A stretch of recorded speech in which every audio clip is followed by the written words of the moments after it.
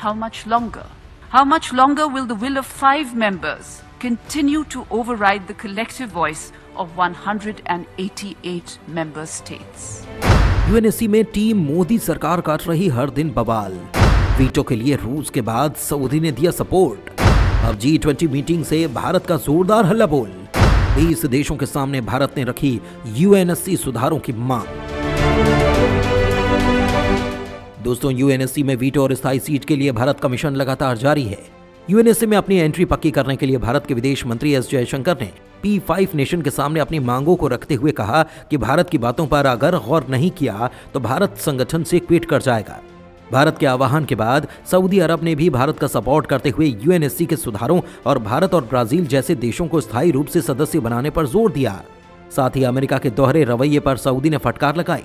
दोस्तों, अब एक बार फिर से भारत ने जी ट्वेंटी मीटिंग से यूएनएससी को लेकर अपनी बात रखी और कहा कि यूएनएससी की मौजूदा हालात को सुधारा नहीं गया तो इस संगठन का कोई मतलब नहीं रह जाएगा और इस संगठन में भारत का रहने का भी कोई मतलब नहीं होगा। दोस्तों यूएनएससी में भारत ने क्या कुछ कहा और क्या कुछ भारत ने अब नई बात रखी, ये सारी बात हम आपको बताएँगे। लेकिन उससे पहले आप वीडियो पर अपना एक लाइक ज़रूर करें और अगर चैनल पर नए हैं तो चैनल को सब्सक्राइब कर लीजिए। आपको बताते हैं यूएनएससी को लेकर क्या नई खबर आई। विश्व के दो बड़े संगठनों में फिर उठा भारत की स्थायी सीट का मसला। भारत ने किया सुरक्षा परिषद में स्थायी सीट का जोरदार तरीके से दावा। दोस्तों, भारत ने दो बड़े वैश्विक कूटनीतिक मंचों पर संयुक्त राष्ट्र में सुधारों और अपनी स्थायी रूप से एंट्री का मुद्दा उठाया। एक तरफ़ तो रायसीना डायलॉग के मंच पर भारत के विदेश मंत्री एस जयशंकर ने संयुक्त राष्ट्र सुरक्षा परिषद में सुधार का मुद्दा उठाया तो वहीं विदेश राज्य मंत्री वी. मुरलीधरन ने रियो डी जेनेरियो, ब्राज़ील में जी ट्वेंटी संगठन के विदेश मंत्रियों की बैठक में जोरदार तरीके से मुद्दे को आगे बढ़ाया। गुरुवार को भी एस. जयशंकर ने रायसीना डायलॉग के मंच से संयुक्त राष्ट्र में सुरक्षा का मसला उठाया था। रायसीना डायलॉग के एक सत्र में परिचर्चा के दौरान विदेश मंत्री ने एक तरफ़ संयुक्त राष्ट्र में सुधार और इसमें विकासशील देशों की सही हिस्सेदारी मिलने की बात को गंभीरता से रखा तो वहीं हल्के फुल्के अंदाज में अंतर्राष्ट्रीय क्रिकेट की रैंकिंग और भारतीय क्रिकेट कंट्रोल बोर्ड के फॉर्मूले के आधार पर भी इसका समाधान निकालने की बात कही। एक दिन पहले ही इसी मंच पर एक अन्य सत्र में विदेश मंत्री ने संयुक्त राष्ट्र सुरक्षा परिषद में सुधार की सहमति बनाने पर अंतर्राष्ट्रीय खेल होने की बात कही। दरअसल, संयुक्त राष्ट्र के मौजूदा प्रावधान के मुताबिक, सुधार पर विचार के लिए भी पहले आम सहमति बनाने की ज़रूरत है। इसे ही सुधार की राह में सबसे बड़ी बाधा माना जा रहा है। बातों के क्रम में जयशंकर ने भारत की जी ट्वेंटी अध्यक्षता का ज़िक्र किया और बताया कि कैसे अफ्रीकी यूनियन को इसमें स्थायी सदस्य के तौर पर शामिल किया गया। विदेश मंत्री ने कहा कि अगर जी ट्वेंटी का विस्तार किया जा सकता है तो संयुक्त राष्ट्र सुरक्षा परिषद की स्थायी सदस्यता भी बढ़ाई जा सकती है। विदेश मंत्री एस जयशंकर ने भी हाल ही में कहा कि भारत को संयुक्त राष्ट्र सुरक्षा परिषद में स्थायी सीट ज़रूर मिलेगी।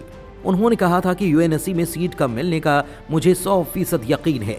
चीन की ओर से आने वाली अड़चन की ओर इशारा करते हुए उन्होंने कहा था कि हम वहाँ पहुँचेंगे, लेकिन इसे आसानी से हासिल नहीं कर पाएँगे क्योंकि दुनिया प्रतिस्पर्धा से भरी है और कुछ ताकतें हमें रोकना चाहती हैं। बताएँ कि वर्तमान में यूएनएससी के पाँच स्थायी सदस्य चीन, फ्रांस, रूस, ब्रिटेन और अमेरिका हैं। और यहाँ केवल स्थायी सदस्य के पास ही किसी प्रस्ताव पर वीटो करने की शक्ति होती है। ऐसे में भारत स्थायी सीट चाहता है, लेकिन उसका स्थायी सदस्यता में सबसे बड़ी अड़चन चीन बना हुआ है। क्या होता है यूएनएससी में वीटो पावर का मिलना?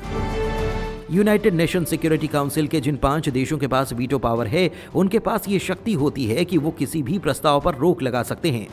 वीटो पावर वाले देश किसी भी प्रस्ताव के खिलाफ हैं और वो नहीं चाहते कि वो पारित हो तो इसके माध्यम से वो अपनी नामंजूरी को सामने रख सकते हैं। वो प्रस्ताव को अस्वीकृत करते हैं। वीटो पावर से यूएन काउंसिल के महासचिव के चयन को भी रोका जा सकता है। संयुक्त राष्ट्र चार्टर में परमानेंट और नॉन परमानेंट मेंबर्स के बीच वीटो पावर सबसे बड़ा और महत्वपूर्ण अंतर है। भारत के लिए लगातार इस तरह की बातें होती हैं कि उसे वीटो पावर मिलनी चाहिए। जिन पाँच देशों के पास ये पावर है, उनमें चार का मानना है कि भारत को ये शक्ति मिलनी चाहिए और वो स्थायी सदस्य बनने का हकदार है। हालाँकि चीन, यूएन में भारत की स्थायी सदस्यता का विरोध करता है।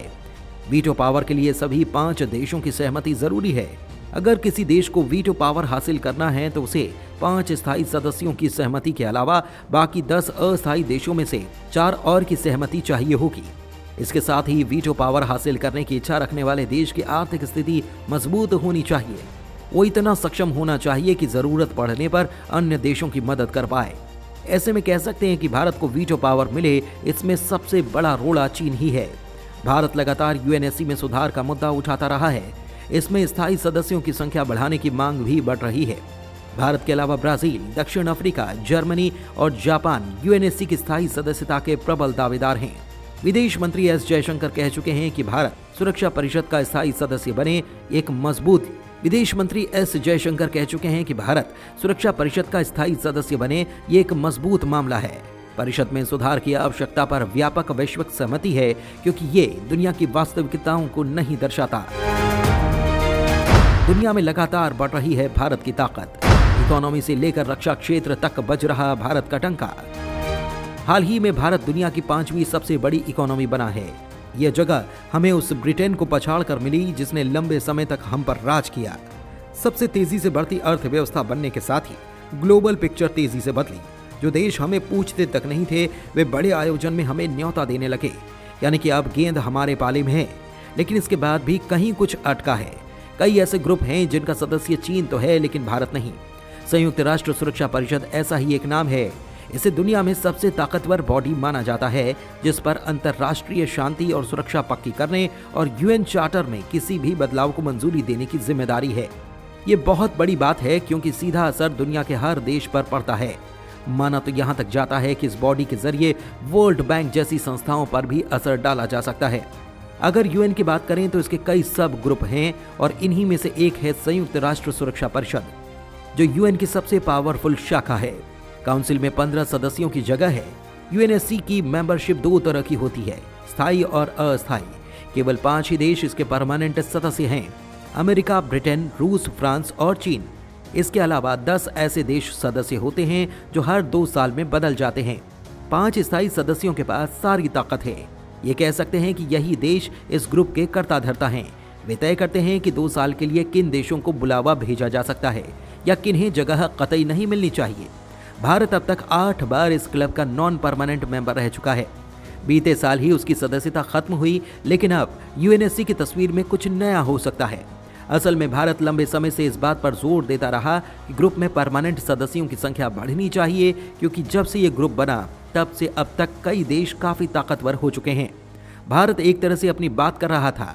विदेश मंत्री एस जयशंकर ने खुद कहा कि देश जल्द ही सुरक्षा परिषद का स्थायी सदस्य बनना चाहता है। इस बात के लिए यूएनएससी के चार सदस्य भी काफ़ी कोशिश कर रहे हैं, लेकिन हर बार पांचवा मेंबर चीन इसमें अड़ंगा लगाता है। दरअसल ग्रुप में कोई भी प्रस्ताव पास करने के लिए सभी स्थायी देशों का समर्थन ज़रूरी है। इधर भारत यूएनएससी में अपने साथ जापान को भी लाना चाहता है। चीन को इस पर भारी आपत्ति है, क्योंकि जापान से भी उसके रिश्ते अच्छे नहीं हैं। अमेरिका की बात करें तो वैसे तो अमेरिका हमारा करीबी दिखता है, लेकिन यह मामला हाथी के दांतों वाला हो सकता है। कई बार दबी जबान से उसने भारत की स्थायी सदस्यता का विरोध किया। उसके पास तर्क ये था कि हम परमाणु अप्रसार संधि एनपीटी का हिस्सा नहीं हैं और न्यूक्लियर ताकत जुटा चुके हैं। वो भी अमेरिका के टोकने के बावजूद।